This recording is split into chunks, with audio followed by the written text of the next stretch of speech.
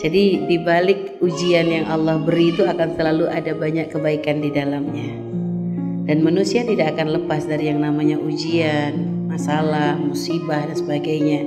Karena itu adalah sunnatullah yang berlaku. Gak ada orang hidupnya enak terus. Kalau ada orang malah sebenarnya kalau dikasih nikmat sehat, gak pernah sakit tuh harus takut.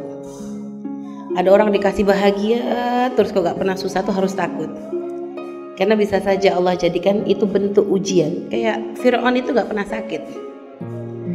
Fir'aun gak pernah sakit, tapi apakah tidak sakitnya itu tanda kemuliaan? Ternyata tidak, itu tanda Allah ingin merendahkan dia.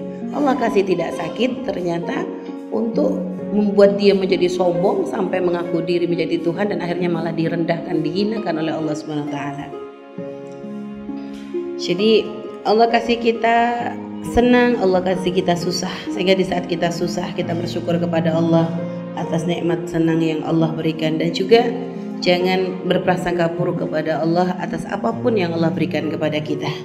Selalu berhusnudzan selalu berhusnudzan itu akan menjadikan hati kita semakin lebih mudah untuk menerima menjadikan kita tidak pernah lupa untuk bersyukur kepada Allah, menjadikan kita semakin mudah untuk bersabar atas ujian yang Allah berikan kepada kita, dan itu semua akan menjadikan pangkat seorang hamba itu diangkat oleh Allah Subhanahu wa taala.